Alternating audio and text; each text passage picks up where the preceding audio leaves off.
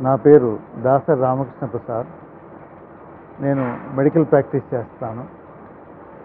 Doctor D R K Prasad అంటారు. తలపల్లిలో గత ముప్పై ఏళ్ళ నుంచి నేను ఈ ప్రాక్టీస్ చేస్తూ ఉన్నాను. నాకు తెలిసిన నా అనుభవంలోకి వచ్చిన కొన్ని విషయాలని ముఖ్యంగా వైద్యం సంబంధించిన విషయాలని మీతో పంచుకోవాలని ఈ సామాజిక మాధ్యమాల ద్వారా పంచుకుంటున్నాను. ఇప్పుడు పాముల గురించిన లాభాలు నష్టాలు చర్చించుకుందాం. లాభాలు చివరిలో చెప్తాను. ముందుగా పాముల వల్ల వచ్చే ఇబ్బందులు మనకి వాటి వల్ల నష్టాలు చెప్తాను. మన దేశంలో దాదాపు రెండు వందల యాభై రకాల పాములు ఉన్నాయి వాటిల్లో విషపాములు యాభై రెండు రకాలు మాత్రమే. ఆ యాభై రెండు రకాల్లో కూడా కేవలం ఐదు రకాల పాములు మాత్రమే మనిషిని చంపగలిగిన శక్తి గల విషయం ఉన్నది. ఆ ఐదు రకాల పాములు ఏమిటంటే ఒకటి త్రాచుపాము ఇది అందరికీ తెలిసిందే. కట్లపాము రెండోది. మూడోది రక్తపింజర. ఇది కూడా మన ప్రాంతంలో అందరికీ తెలిసిందే. నాలుగోది సాస్కేల్డ్ వైపర్ ఫుర్సా అంటారు. ఇది ఎక్కువగా నార్త్ ఇండియాలో ఉంటుంది. మన ప్రాంతంలో ఎక్కడా కూడా నేను ఎప్పుడు కూడా చూడలేదు ఇది. ఐదోది హంప్ నోస్ పిట్ వైపర్. ఇది కేరళలో అడవుల్లో ఈ మధ్య కాలంలోనే గత ఒక పదేళ్ళు లోపుగానే దీన్ని గమనించడం జరిగింది. ఇది ఇది కరిచినా కూడా మనిషికి చనిపోయేంత ప్రమాదం ఉన్నది. ఈ ఐదు రకాలు మాత్రమే మన దేశంలో విషం ఉన్న పాములు అంటే మనిషిని చంపగలిగిన విషం ఉన్న పాములు ఈ ఐదు రకాలు మాత్రమే.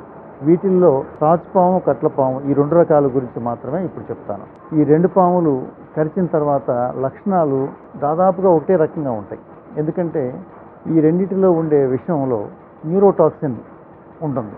ఎందుకంటే ఇది మెదడు మీద నాడీ మండల వ్యవస్థ మీద పనిచేస్తుంది.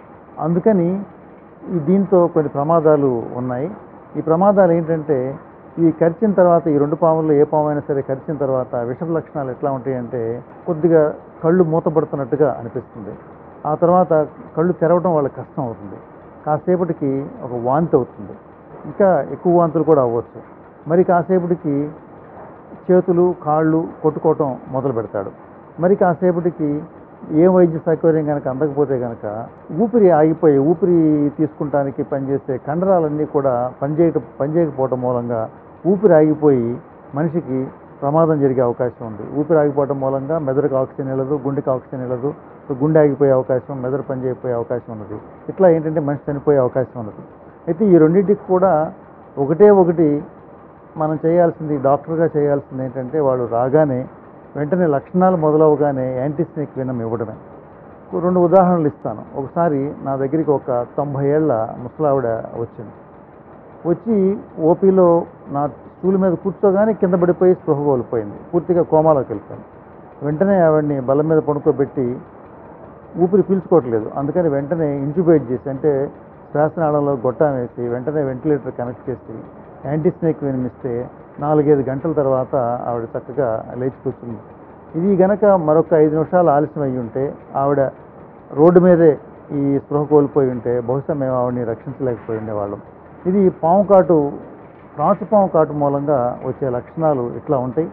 రికవరీ కూడా చాలా తొందరగా ఉంటుంది. ఒక నాలుగైదు గంటలు సాధారణంగా రికవర్ అయిపోతుంది. యాంటీ వెనం ఇచ్చి మనం సపోర్టు మేనేజ్మెంట్ అంటాం. అంటే వాళ్ళు ఏ పని అయితే చేసుకోలేరో రోగులు ఆ పని మనం చేయటం అంటే గాలి పీల్చుకోలేరు. అందుకని వెంటిలేటర్కి సపోర్ట్ చేస్తున్నారు ఇది చేస్తే త్రాచుపాములో చాలా తొందరగా రికవర్ అవుతారు. కానీ కట్లపాము కొద్దిగా తేడాగా ఉంటుంది. ఎట్లా ఉంటుందంటే కట్లపాము వెంటనే రికవరీ అవటం చాలా తక్కువ. ఒక్కొక్క రోజు రెండు రోజులు ఒక్కొక్కసారి మూడు రోజులు కూడా పట్టిన క్షణాలు ఉదాహరణలు ఉన్నాయి. ఒకసారి ఒక కుర్రవాడిని నా దగ్గరికి పొద్దున్నే తీసుకొచ్చారు. అతను తోలుతా తోలుతా ఉంటే ఇంట్లో వాళ్ళు తీసుకొచ్చి ఆ, మోసుకుని తీసుకొచ్చారన్నమాట. అతన్ని చూస్తే నాకు ఇది పాము కాటు కట్ల పాము కాటు అని చెప్పేసి అనుమానం వచ్చింది. వాళ్ళేమో అసలు పాము ఎక్కడ ఉందండి పాము ఎక్కడ గెలిచింది రాత్రి శుభ్రంగా నిద్రపోయాడు బహుశా వీడు తాగి వచ్చాడేమో అందుకనే తోలుతున్నాడని చెప్పేసి వాళ్ళు అంటారు ఫ్యామిలీ మెంబర్స్ కుటుంబ సభ్యులంతా అలా అంటారు. కానీ నాకు మాత్రం ఖచ్చితంగా లక్షణాలన్నీ కూడా అతను కళ్ళు మూతపడటం కానీ ఇవన్నీ కూడా కట్లపాము లక్షణాలలాగా అనిపించింది అతనికి కూడా ఇమీడియట్గా ఇంట్రావేనస్ ఫ్లూయిడ్స్ ఇవ్వటం అందులో యాంటీస్నేక్ వేనం ఇవ్వటం అట్లాగే వెంటిలేటర్ కనెక్ట్ చేయడం మూలంగా సరిగ్గా ఊపిరి పీల్చుకోవట్లేదు. అందుకని వెంటిలేటర్ కనెక్ట్ చేయాల్సి వచ్చింది. చేయటం మూలంగా అతను దాదాపు ఒక రోజు తర్వాత అతను మళ్ళీ మామూలుగా అయ్యాడు.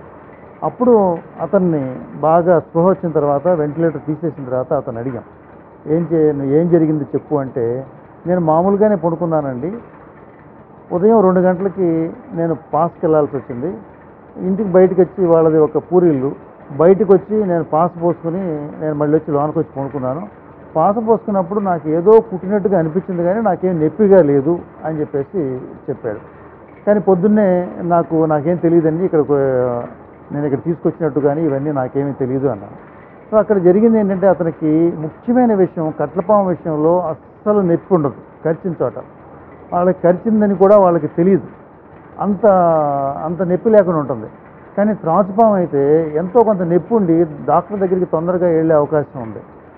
తో వాళ్ళు రావటం ఆలస్యం అయ్యి ఒక్కోసారి బాగా ప్రమాదం అయ్యే అవకాశం ఉంది.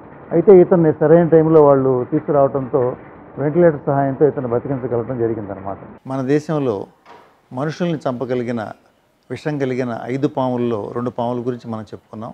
ఇంకా మూడు పాముల గురించి చెప్పుకోవాలి. అదే కాకుండా పాముల మూలంగా ఉండే లాభాలేంటి? దాని మీద వీటన్నిటి మీద నా అనుభవంలో నేను సేకరించిన విషయాల గురించి వచ్చే ఎపిసోడ్లో చెప్పుకుందాం. మీకు నచ్చితే లైక్ చేయండి షేర్ చేయండి కామెంట్ చేయండి.